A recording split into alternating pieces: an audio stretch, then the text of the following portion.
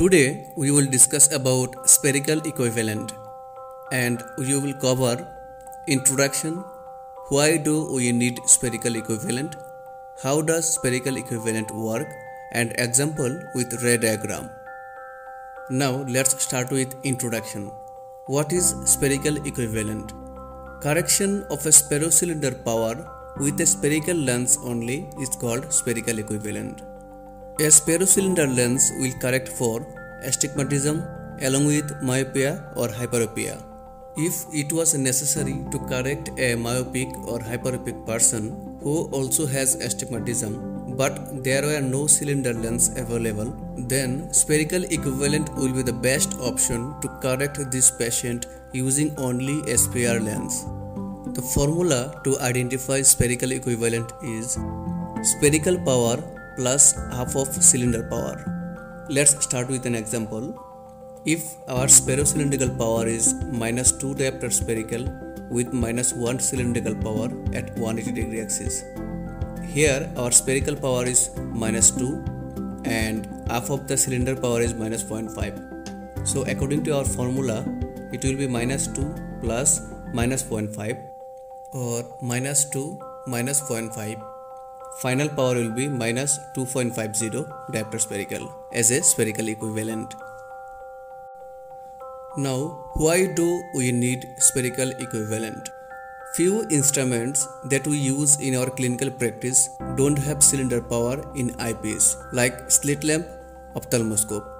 If the examiner is having spherocylindrical power, then either he or she has to wear the spectacle which is very uncomfortable while examining or can try with adjusting the power available in eyepiece.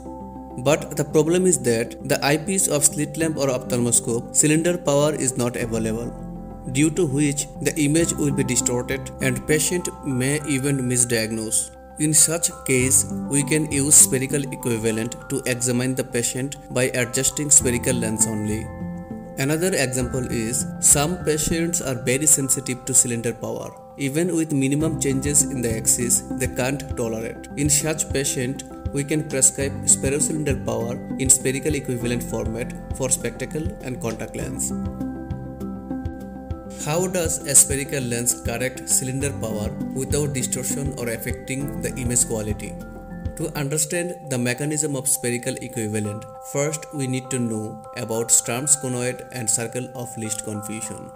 According to Sturm's conoid, if both meridian focus equally distance from retina, one in front and other behind the retina, then image formed in the retina won't be distorted. This condition is called circle of least confusion.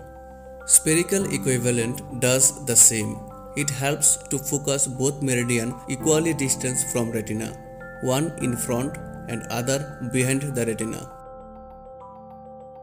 Now try to understand the mechanism of spherical equivalent with an example along with ray diagram.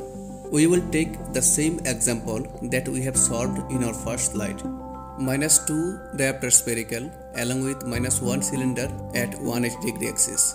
Now let's distribute this power meridian wise. The spherical power will be same in both meridian, vertical and horizontal. So the minus 2 diopter spherical will be in vertical meridian as well as in horizontal meridian. And along with it we have minus 1 cylinder power also in 180 degree axis. So the power will be in vertical meridian minus 1. In the vertical meridian we have total power minus 3 and in horizontal meridian we have total power minus 2.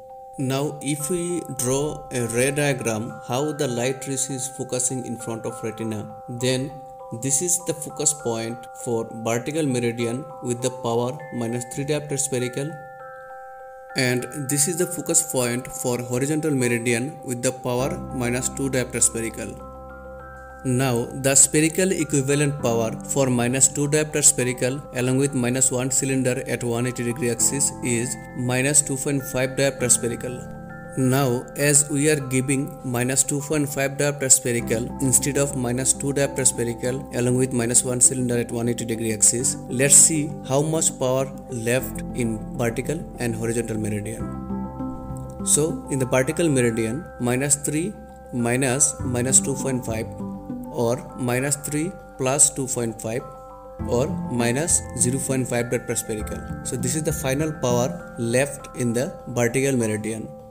In the horizontal meridian, minus 2 minus minus 2.5 or minus 2 plus 2.5 or plus 0.5 diopter. So plus 0.5 diopter is left in horizontal meridian.